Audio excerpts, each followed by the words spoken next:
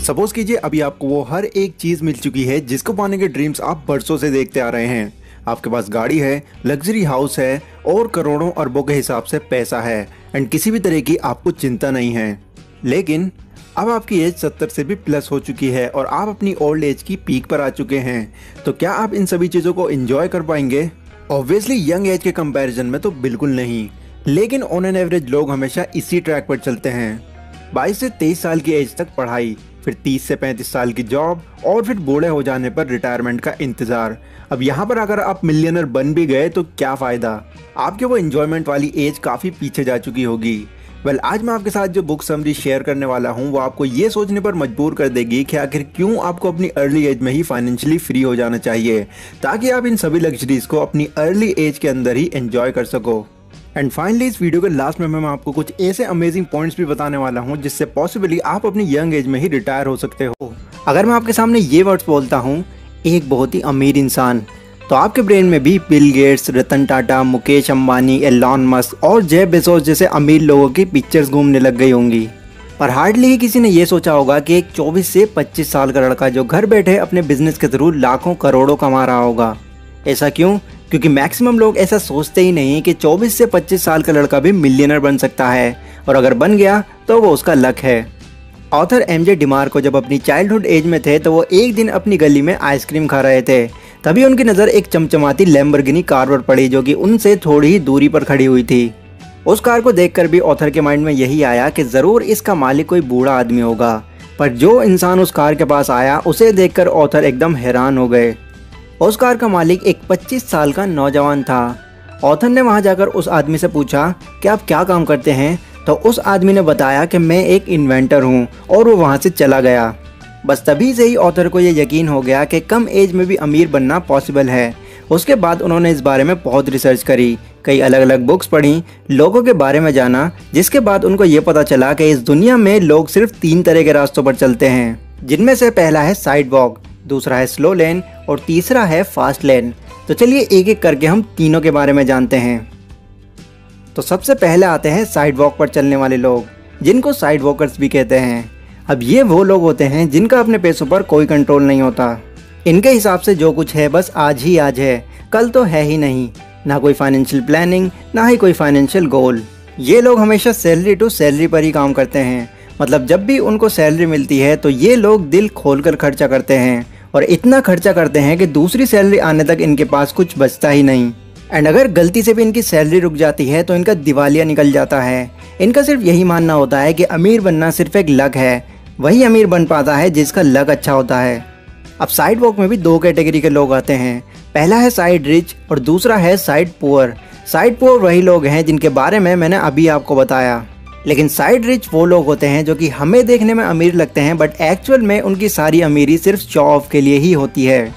इनकी सैलरी अगर चालीस हज़ार भी होगी तो फिर भी ये पचास से साठ हज़ार का फ़ोन खरीदेंगे। भले ही वो फ़ोन इनको फाइनेंस ही क्यों ना कराना पड़े। क्यों? क्योंकि लोगों के सामने इनको अमीर दिखना है।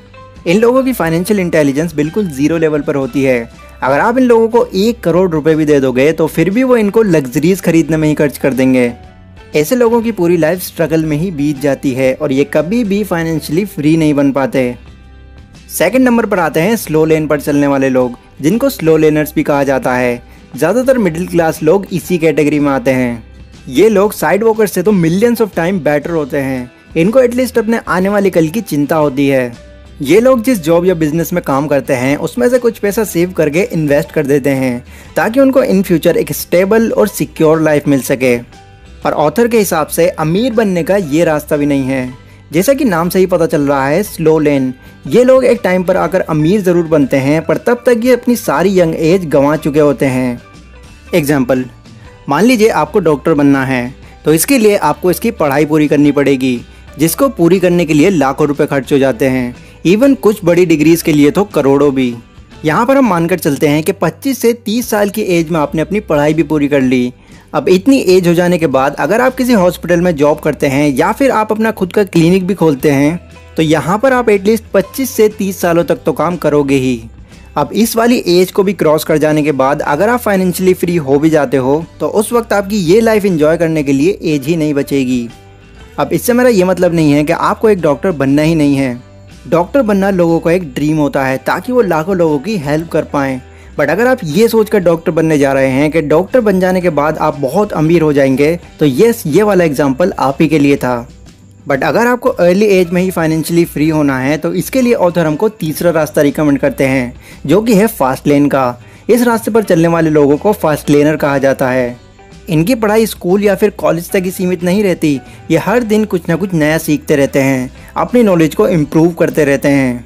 ताकि इस नॉलेज के थ्रू वो एक ऐसा सिस्टम क्रिएट कर सकें जिससे उनको ज़िंदगी भर कमाना ना पड़े। और इसके लिए वो जितने हो सके एसेट्स क्रिएट करते हैं और एक टाइम पर आकर वो मिलियनर बन ही जाते हैं। वेल ये सब इतना आसान भी नहीं है। इस प्रोसेस में आपको साइड वॉक और स्लो लेन के मुकाबले ज़्यादा मेहनत लगती है। बहुत सारे सेक्रीफाइसेस करने होते हैं प्लस यहाँ पर टाइम भी लगता है। बट उतना तो बिल्कुल भी नहीं कि आपको बुढ़ापा देखना पड़ जाए। अब सवाल ये आता है कि फास्ट लेन के रास्ते पर हम आखिर चल कैसे सकते हैं? यानी कि फास्ट लेन के रास्ते पर चलने का तरीका क्या है? तो इसलिए मैं आपके साथ चार पॉइंट शेयर कर रहा हूँ जो आपको ज़रूर फॉलो करने चाहिए अगर आप अपनी अर्ली एज में ही मिलियनर बनना चाहते हैं। Point number one, attack the need. आपको ऐसा सिस्टम या फिर बिज़नेस क्रिएट करना होगा जो लोगों की नीड को पूरा करता हो। क्योंकि जितनी ज़्यादा वैल्यू आप लोगों को प्रोवाइड करेंगे, इन फ्यूचर आप उतने ही अमीर बनते चले जाएँगे। एग्ज़ाम्पल जब लोगों को ऑटो या बस के लिए घंटों तक वेट करना पड़ रहा था तो उनकी इस प्रॉब्लम को ओला ने समझा और एक एप्लीकेशन बेस्ड टैक्सी सर्विस को प्रोवाइड कर दिया। और आज आप जानते ही हैं कि ओला कितनी बड़ी कंपनी बन चुकी है। ठीक इसी तरह, होटल्स के लिए परेशान हो रहे लोगों को ओयो ने समझा और चीपेस्ट प्राइस में लोगों को ठहराने का सिस्टम क्रिएट कर दिया। एंड ओयो भी आज बहुत ज़्यादा पॉपुलर हो चुका है। आपको भी ऐसा ही सिस्टम क्रिएट करना होगा जो लोगों की ज़रूरतों को पूरा करता हो। जितने बड़े लेवल पर लोगों की प्रॉब्लम होगी, उसको सॉल्व करने के बाद उतने ही ज़्यादा अमीर आप वहाँ से बनते चले जाएँगे।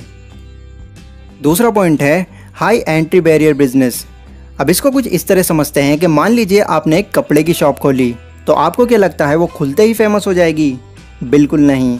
आपके जैसे ही हज़ारों लाखों और लोग भी हैं जो ऑलरेडी इस काम को पहले से करते आ रहे हैं, और ये लोग आपके कॉम्पिटिटर्स हैं।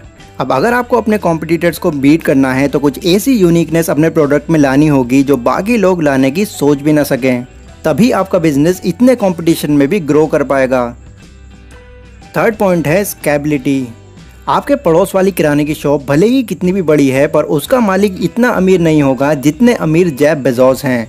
रीज़न स्केबिलिटी आपके एरिया की दुकान सिर्फ़ एक पर्टिकुलर एरिया को ही कवर कर पा रही है। पर अमेजोन के थ्रू आप पूरे वर्ल्ड में कहीं से भी शॉपिंग कर सकते हैं। ठीक इसी तरह आपके एरिया के बर्गर वाला इतना फ़ेमस नहीं होगा जितनी फ़ेमस मैकडोनल्ड कंपनी है। बर्गर तो दोनों ही बनाते हैं बट मैकडोनल्ड ने अपने आप को स्केल किया हुआ है, जिससे पूरी दुनिया के लोग उस कंपनी को जानते हैं। तो इसीलिए ऑथर हमको यही एडवाइस करते हैं कि जितने बड़े लेवल पर आपका बिज़नेस स्केल होगा, उतने ही आपके बिज़नेस ग्रो होने के चांसेस बढ़ जाएँगे।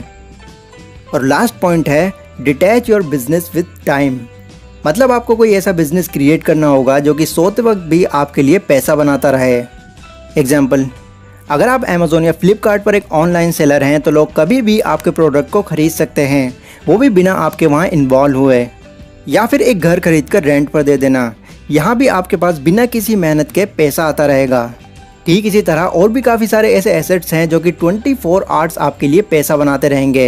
वो भी आपके ज़्यादा बिना इन्वॉल्व हुए। जिनमें से टॉप टेन एसेट्स के बारे में मैंने एक वीडियो भी बनाई हुई है। इस वीडियो के ख़त्म होने के बाद आप ज़रूर चेकआउट करें। ये सभी बातें मैंने आपको एम जे डिमार्को की book the millionaire fast lane से बताई हैं। इस बुक में इसी तरह की और भी काफ़ी सारी इंटरेस्टिंग बातें बताई गई हैं जो आपको ज़रूर पढ़नी चाहिए अगर आप अपनी यंग एज में ही सफल होना चाहते हैं। इसका लिंक मैंने डिस्क्रिप्शन में दिया हुआ है, वहाँ से जाकर आप इस बुक को परचेज कर सकते हैं। लाइक और शेयर कीजिए, अगर ये वीडियो आपको ज़रा भी यूज़फुल लगी हो